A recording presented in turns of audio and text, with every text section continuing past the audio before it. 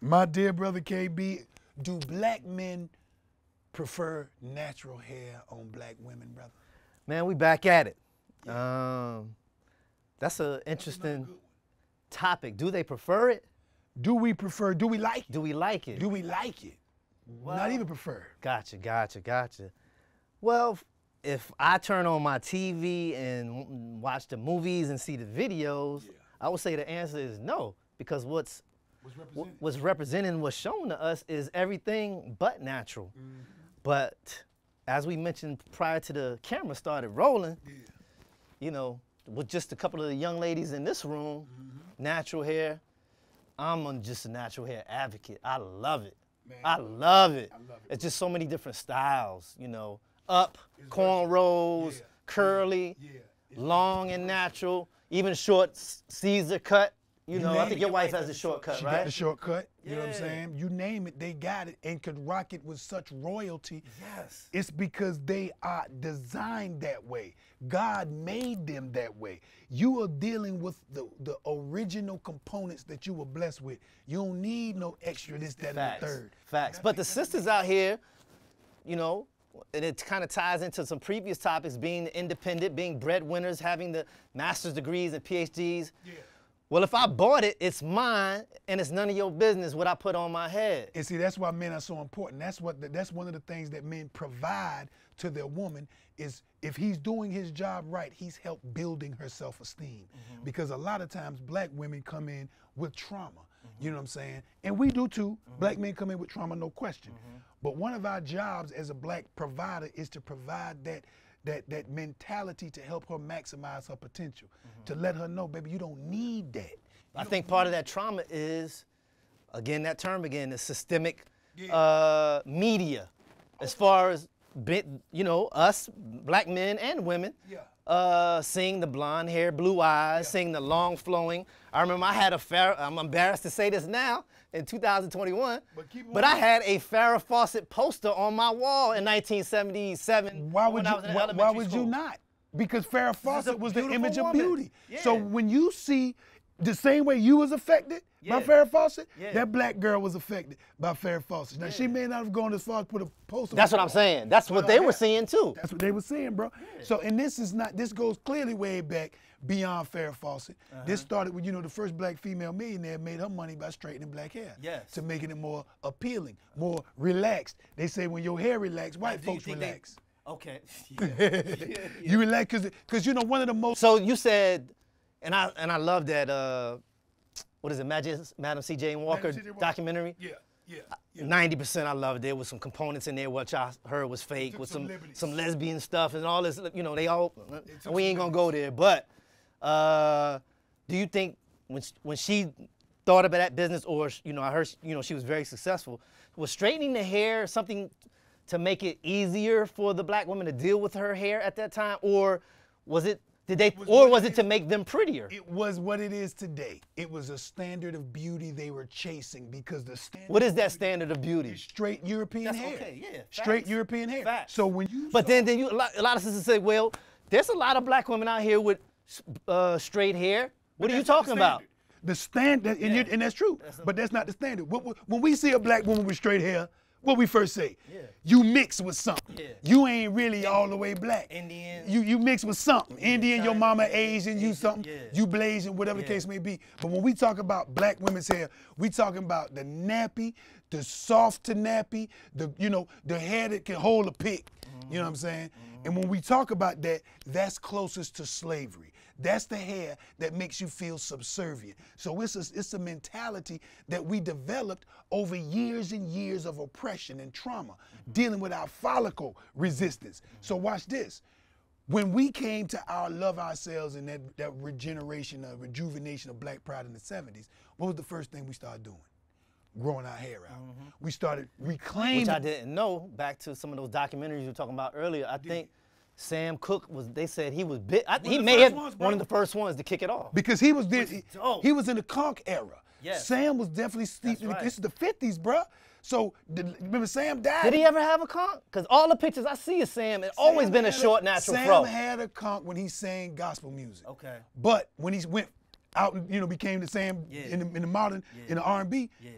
We're natural. So when we started seeing that rejuvenation of black pride, the first thing we did was grow our hair out because we knew that was reclaiming something that we had lost because of the oppression and the and, and the shame of being related to people who were oppressed as slaves. Mm-hmm. So in the 80s, what happened? You said, well, well, first, remember what happened. The 70s afros turned into the 80s Jheri curl.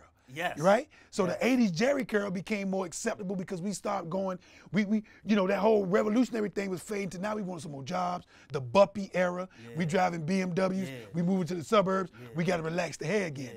So now we come into this generation where hip hop, where the weave started taking place for the Jheri curl, and again, an industry was born, and black women were the victims. And the same way black men become addicted and subservient to athletics and things that's mm-hmm. physical, a lot of women become subservient to that which makes them more beautiful, Now- which they think makes them more beautiful. I agree. And I think you take Lil' Kim, for example, who, you know, I'm not gonna get into all the plastic surgery stuff, but Right. You know, they said Biggie or, you know, and a lot of these rappers, you see it or, you know, They choose, they, yeah. they talk negatively about, black women. black women with natural hair. Yes, sir. You know? And, and, and, and that's trauma on the black male side. Yeah. Because when we so we're part we- of that. We're oh, part of that. It's not just the media. We're, We're part not of that. just a part of it. We're huge purveyors of it. Exactly. Because remember, Exactly. the girl with the straight hairs who we so we're not placing blame, you know, on the sisters No, at all. We, we owning our part. We just telling y'all We're Again. changing. Yeah. We're wanting to change this narrative because we see women embracing their naturals more and more now. And what I do, you know, my wife cut her hair because we got two daughters. And my daughters, even at an early age, my Mm-hmm. One oldest one, has the shortcut, right? she got the shortcut, the 22 year old. When she was a little girl, and April used to wear her hair, you know, uh, uh, with, the- with the creamy crack is what we used to Uh-huh. call it. You know what I'm saying? The little one, when she was like nine and 10, she wanted her hair to look like that. Yeah, yeah. And she felt bad that it didn't. So, Because it was natural. because it was her hair was natural and April had the creamy crack. So, in order to defend this position of showing our daughter that her natural hair was valuable, my wife cut the creamy crack out. And that was That was 14 great. years That was ago. a great You know what I'm saying? So, um, do you have a preference? You know, back to kind of original, I like you know, we love our wives, no Yeah, matter you know, no yeah. matter braids. You know, uh, if they had a, a weave, Weave, a weave, uh, or the creamy crack. I married her. That's what I'm saying. With the creamy crack. Yeah. You know what I'm Our saying? women are our women. But is there a preference? I absolutely, in my position, prefer a natural woman because it speaks volumes to your confidence in yourself. When you don't have to conform. That's and what wear I- what everybody else wearing, That's how I feel. and you also That's how I feel. acknowledging your own natural That's how I beauty, feel. Then you winning. That's how I it's feel. beautiful. That's It's I like women would say, would say women say, you know, you got to have some bread. But I'm not order a to be I'm not a woman. Maybe we we need to have like a, a woman on this topic, or we may have to Well, come, got to circle, chime in, circle yeah. back around. Yeah. But I also think, uh, talking to some sisters, you know, we we want that big body Benz. You know, we want the nice rims. We want the nice sneakers. I'm talking about men. Right. I think some women think of that as part of success. Not only it makes them look better, but it's like my virgin hair or whatever you call it costs, and they know all the different oh, types know, and the yeah, costs. oh, yeah, oh, this is a $400 wig or weaves.